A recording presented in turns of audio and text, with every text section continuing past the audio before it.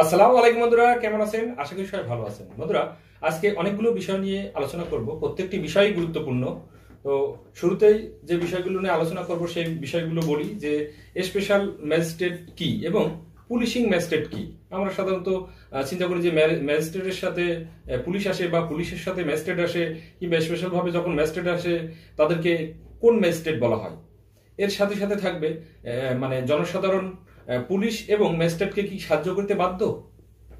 এবং যে সকল ক্ষেত্রে সাহায্য করিতে বাধ্য, অর্থাৎ কোন কোন ক্ষেত্রে সাহায্য করিতে বাধ্য? জনসাধারণ ম্যাজিস্ট্রেট কিংবা পুলিশকে যে সকল অপরাধের জন্য খবর দিতে বাধ্য। যে সকল শ্রেণির লোক খবর দিতে বাধ্য। আসলে খবর দিতে বাধ্য তাহলে কোন শ্রেণির লোক? সকল শ্রেণির লোক নাকি কিছু শ্রেণীবদ্ধ শ্রেণি আছে? এই এই বিষয়টা থাকবে। এবং এর সাথে থাকবে যে এক থানার পুলিশ অন্য থানায় গিয়ে আসামি গ্রেপ্তার করতে পারে কিনা। এই সমস্ত বিষয় নিয়ে আজকের আলোচনা করব।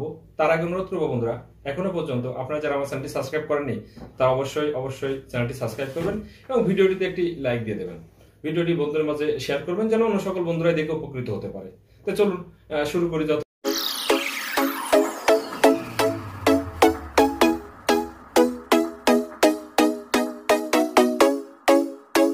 তো শুরুতে আলোচনা করব যে স্পেশাল ম্যাজিস্ট্রেটটা কি?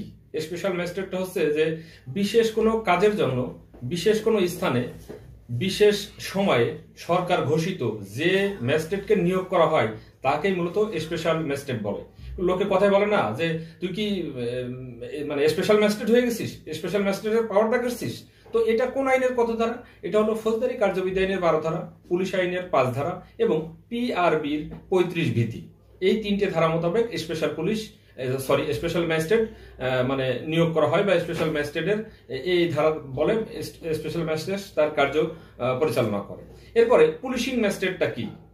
তো পুলিশিং ম্যাজিস্ট্রেট হচ্ছে যে বিশেষ কোনো ক্ষেত্রে আইন শৃঙ্খলা রক্ষা করার জন্য বা বিশেষ কোনো ব্যক্তিকে গ্রেপ্তার করবার জন্য একজন পুলিশ স্পেশাল ম্যাজিস্ট্রেট একজন পুলিশকে স্পেশাল ম্যাজিস্ট্রেট বলা হয় বা স্পেশাল ম্যাজিস্ট্রেট বলে। এটা হলো কোন আইনের কত ধারা? এটা হচ্ছে ফৌজদারি কার্যবিধি আইনের বারো ধারা, পুলিশ আইনের পাঁচ ধারা পিআরবির পঁয়ত্রিশ বিধি। এটা হচ্ছে আসলে মানে এই সকল ম্যাজিস্ট্রেট শুধুমাত্র আপনার গ্রেপ্তারের ক্ষমতাই পরিচালনা করতে পারে। অন্য কোনো ক্ষমতা কিন্তু তারা অন্য ম্যাজিস্ট্রেট নাই কিন্তু প্রয়োগ করতে পারে না। আমার নাম কিন্তু আগুন, স্যার। আগুন কোনো কিছু দিয়ে এই আগুন নিভানো যাবে না।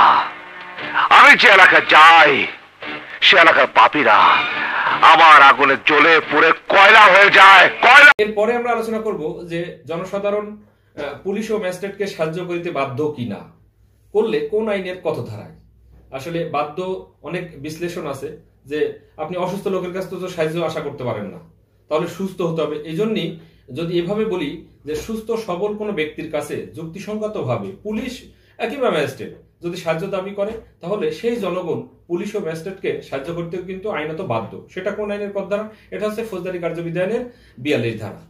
এবার যে যে ক্ষেত্রে সাহায্য করিতে বাধ্য, কোন কোন ক্ষেত্রে সাহায্য করিতে বাধ্য একদম সব, সকল ক্ষেত্রে নয় কিন্তু। সেই ক্ষেত্রগুলো হচ্ছে এরকম যে কতিপয় অপরাধীকে গ্রেপ্তার বা গ্রেপ্তার প্রতিরোধ করার ক্ষেত্রে জনগণ, পুলিশ ও ম্যাজিস্ট্রেটকে সাহায্য করতে বাধ্য। এটা হচ্ছে ফৌজদারি কার্যবিধি আইনের একচল্লিশের ক্লোজ এক উপধারা।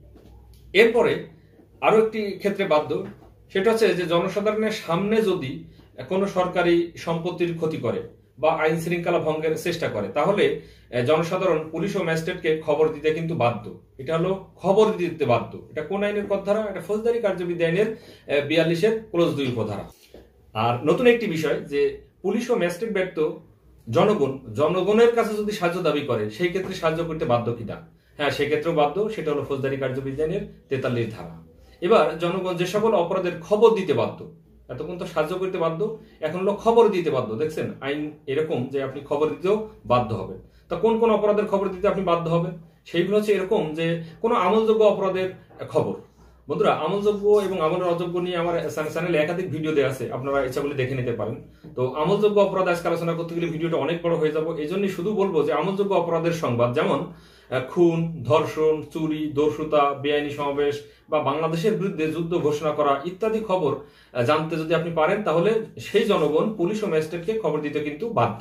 এটা কোন আইনের পদ দ্বারা এটা ফৌজদারি কার্যবিধি আইনের চুয়াল্লিশ ধারা মোতাবেক আপনি কিন্তু বাধ্য। যদি না না দেন, তাহলে কিন্তু আপনার বিরুদ্ধে অপরাধ হবে। সেটা কোন আইনের কত ধারা সেটাও বলে দিই, সেটা হলো দণ্ড, বাংলাদেশ দণ্ডবিধি আইনের একশো সাতাশি ধারা মোতাবেক কিন্তু আপনার বিরুদ্ধে পুলিশ নন এফআই মামলা করতে পারে। এবার যে যে শ্রেণির জনগণ আগে যে সকল অপরাধের জন্য খবর দিতে বাধ্য ছিল, এখন যে সকল শ্রেণির লোক খবর দিতে বাধ্য, সেই শ্রেণির লোক। সবাই কিন্তু না ক্ষেত্রে এটা হচ্ছে যে ফৌজদারি কার্যবিধি আইনের পঁয়তাল্লিশ ধারা মোতাবেক মুসলিমে কিছু লোক, অর্থাৎ কতিপয় কিছু লোক, সেটা হচ্ছে কি, বা কোনো শ্রেণি বিশেষে কিছু লোক, সেটা হচ্ছে যে কোনো গ্রামের মাতব্বার, হিসাব নিবাস জমির মালিক, চেয়ারম্যান, মেম্বার চৌকিদার, দফাদার ইত্যাদি ব্যক্তিবর্গ কিন্তু পুলিশ ও ম্যাজিস্ট্রেটকে খবর দিতে আইনত বাধ্য। এটা কোন আইনের কত ধারা? এটা হচ্ছে ফৌজদারি কার্যবিধি আইনের পঁয়তাল্লিশ ধারা। তো এরপরে আমরা আলোচনা করব যে পুলিশ অফিসার অন্য কোনো অপরাধীকে গ্রেপ্তার করার সময় অন্য থানায় প্রবেশ করতে পারেন কিনা? এই বিষয়টি আলোচনা কর তার অনুরোধ করব বন্ধুরা, এখনও কিন্তু আপনারা আপ- আমার চ্যানেলটি সাবস্ক্রাইব করেননি। অবশ্যই চ্যানেলটি সাবস্ক্রাইব করবেন এবং ভিডিওটিতে একটি লাইক দিয়ে দেবেন। তো সেটা হচ্ছে এরকম যে পুলিশ অফিসার যদি কোনো অপরাধীকে গ্রেপ্তার করার সময় অন্য কোনো থানায় অপরাধী চলে যায় বা অন্য কোনো এলাকাতে চলে যায়, তখন কিন্তু ওই পুলিশ অফিসার তাকে অনুসরণ করে ওই স্থানে গিয়ে কিন্তু গ্রেপ্তার কার্য পরিচালনা করতে পারেন। যদি তল্লাশির ক্ষেত্রে হয় সেখানে কিন্তু তল্লাশি করতে পারেন। তো- নবে- তবে নিয়ম হলো যে যদি আপনি উপযাজক ভাবে যান, অর্থাৎ আপনি যদি আগে থেকে পরিকল্পিত ভাবে যান, তাহলে কিন্তু আপনার একটু অধিযাজন পত্র নিয়ে যেতে হয়। এটা হচ্ছে কোন আইনের কত ধারা? এটা ফৌজদারি কার্যবিধি আইনের আটান্ন ধারা। এটা ছিল আজকের আলোচনা। আশা করি ভিডিওটি আপনারা অনেক উপকৃত হবেন। ধন্যবাদ সকলকে।